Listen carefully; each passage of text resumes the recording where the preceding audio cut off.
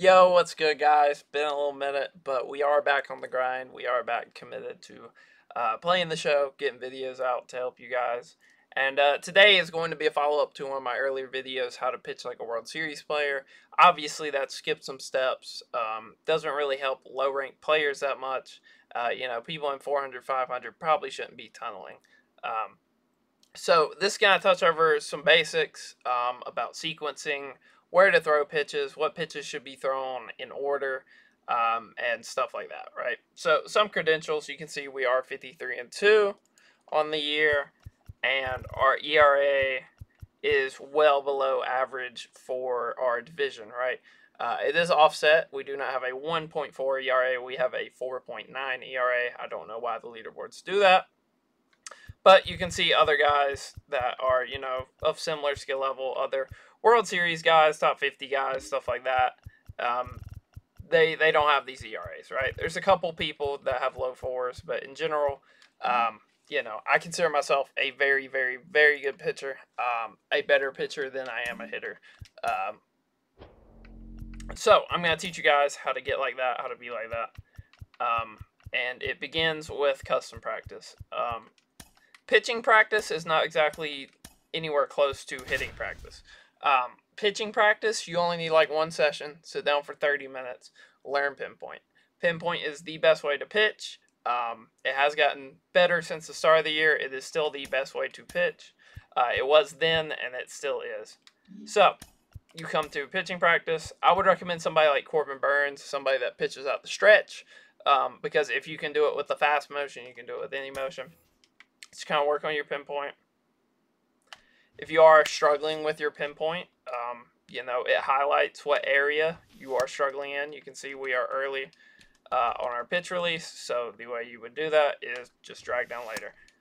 Um, but this is not about the basics of pinpoint. I do have a video on that if you guys do want that. This is about where you should be throwing pitches and then what sequence you should be doing it. Right, so um, I do have this little resource right here. Um, I made this a couple years ago when some friends of mine were getting into the show. Um, this is not it. Here we are. All right, so you can see I've broken down each primary pitch type. Obviously, there are variations. Uh, a cutter is almost very similar to a normal fastball unless it's thrown way slower.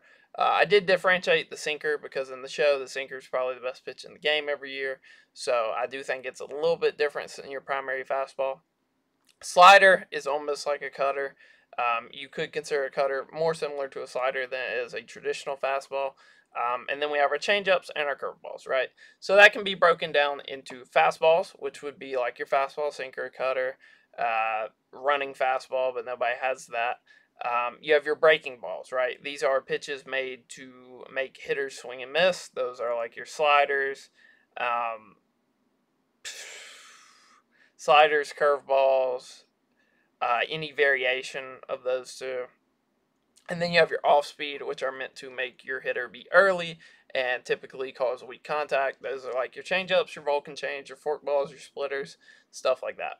So you can see I have coordinated on this chart where they should go. Um, black is a fastball, green is a sinker, red is a slider, uh, blue is a changeup, and pink are your curveballs.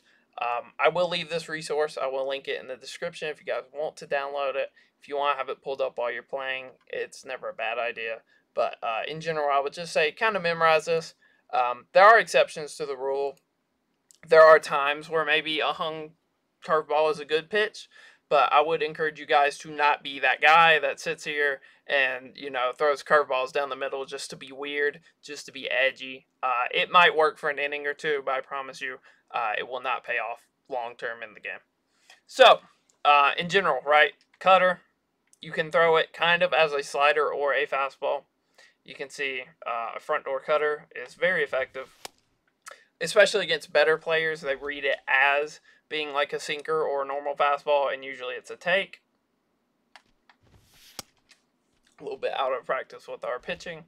Um, you can see Corbin Burnes also has a slider, right? Where are we throwing the slider? We're throwing it front door against good players, and against bad players, we're throwing it back door off the plate. A, a way I typically teach how to throw a slider is put it in the corner and then kind of draw a line straight out of that corner box.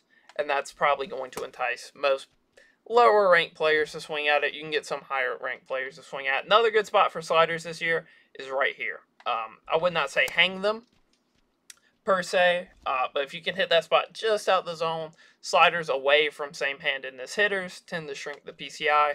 It's a good pitch this year. Uh, and you know, if you are somebody with a cutter, they might read it wrong. They might drop under it. It might be a pop-up. Uh, they might get on top of it. They might ground out. So that's a very good pitch. So our change ups, change ups are typically thrown on either the far inside, far outside, or in the dirt, right?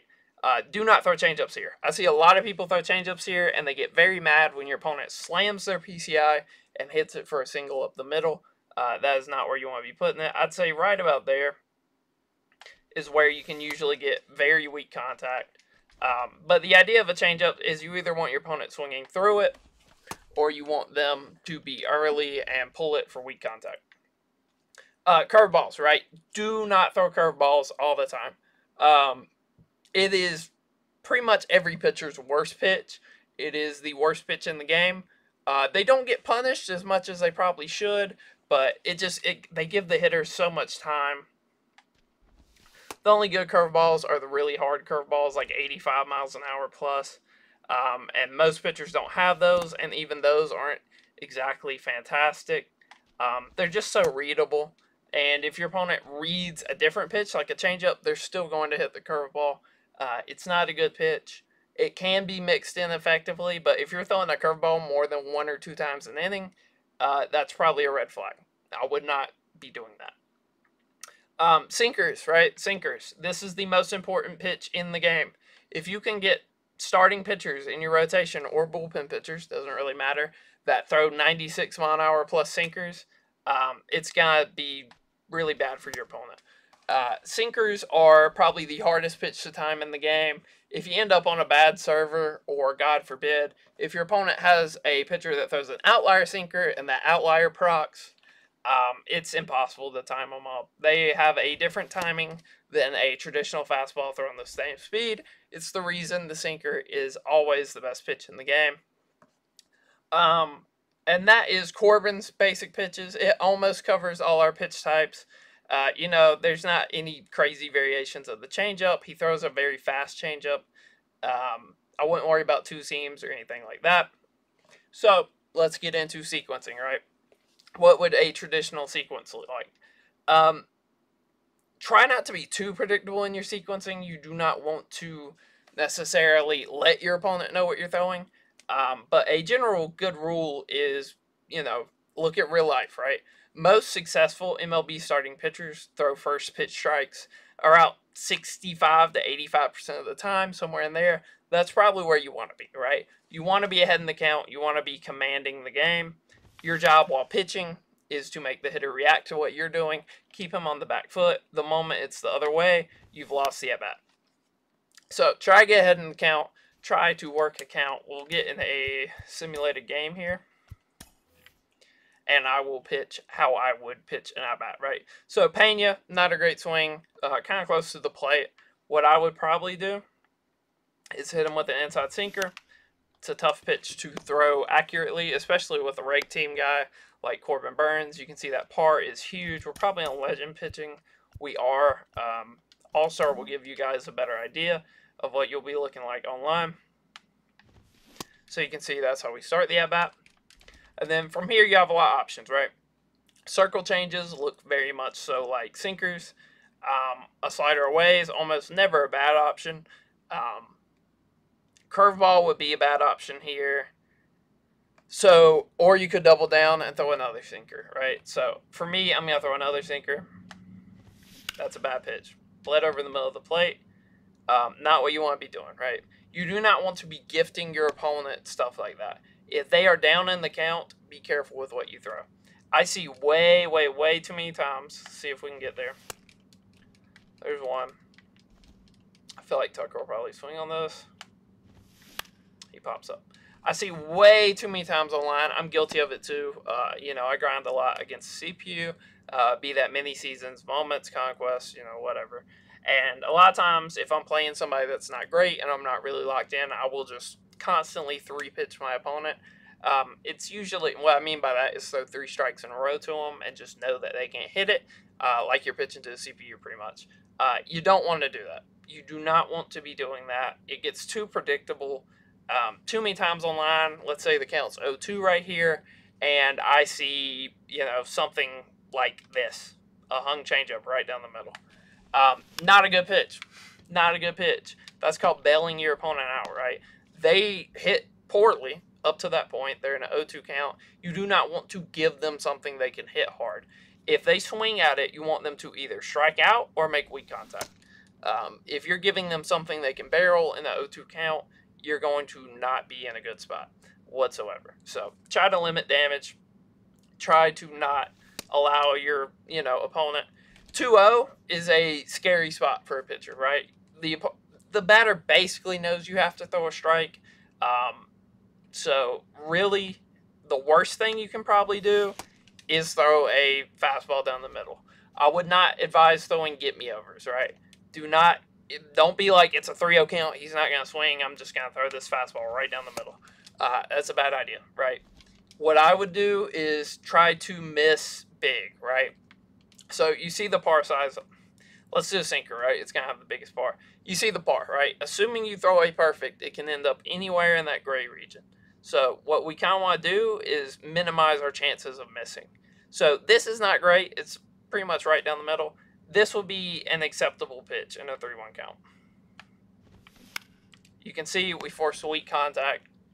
We got him to overextend and be early on that outside sinker. Um, and that's because we did not throw it down the middle. Uh, you know, he was in a 3 1 count. He thought he would get something good that he could hit no matter what. And, you know, we changed timing, we changed zone, we did not throw it down the middle. That's a key to success. Um, general sequencing, there's a lot of different ways to sequence. You can sequence with tunneling, you can sequence just off speed. Um, a lot of people will throw like fastball, off speed fastball, or fastball breaking ball off speed. Um, you know, a tradi- the very traditional pitch sequence is fastball to get ahead in the count, uh, off speed to either force weak contact or get another strike off like a foul tip or something, and then breaking ball to get a three pitch strikeout. Um, but I did say something against that. Do not three pitch your opponent. This year, a lot of times people will go down 0 2 and just be taking no matter what. And if you recognize your opponent's doing that, then yeah, start three pitching them, start making them get aggressive, and then when you're in 0 2 counts in the future, uh, you know, throw them some balls, he'll swing at them. Um, but pitching's really a mind game. It's about making the hitter react to you. If you can, you know, get inside a hitter's head and know what he's looking for, uh, you can do that with swing timings, right? If your opponent's early on a 96 mile an hour cutter, they're probably looking for an outlier fastball. If they're early on a, you know, 90, 88 mile an hour splitter, they're probably looking for like your primary fastball or something like that. So uh, be careful. Pay attention to your opponent's timing. Pay attention to how it comes off the bat, right? Pay attention to how the ball comes off the bat. You can often tell where your opponent's PCI was by what the foul ball looked like. You know, we get a ton of foul balls. Um, use that to your advantage, right? If it comes off the bottom of the bat, they're probably on top of it. They're probably slamming. Um, if it's way out of the zone. Uh, is it a pop up that barely didn't get caught? They're probably under it. They're probably slamming their PCI and they just over adjusted. So use that information uh, to become a better pitcher. Really get inside your opponent's mind. Uh, pitching's fun when you get to this point. Well, you can get in somebody's head and play mind games and, you know, throw them three fastballs in a row and they strike out and you just know they're so mad. Um, that's a good feeling and it is comparable to hitting a perfect perfect. I don't think it'll ever really live up to that hype, but um, if you pitch enough, you will find some enjoyment in it. Uh, if you can be throwing perfect to a pinpoint 8 out of 10 times, you're in a great spot. You're going to have a lot of success online. And yeah, guys, so that's it. Uh, we'll be looking to get some more videos out. Uh, sorry about the extended break, but I should be good to go now. And uh, yeah, guys, so if this was helpful, feel free to like and subscribe. Peace.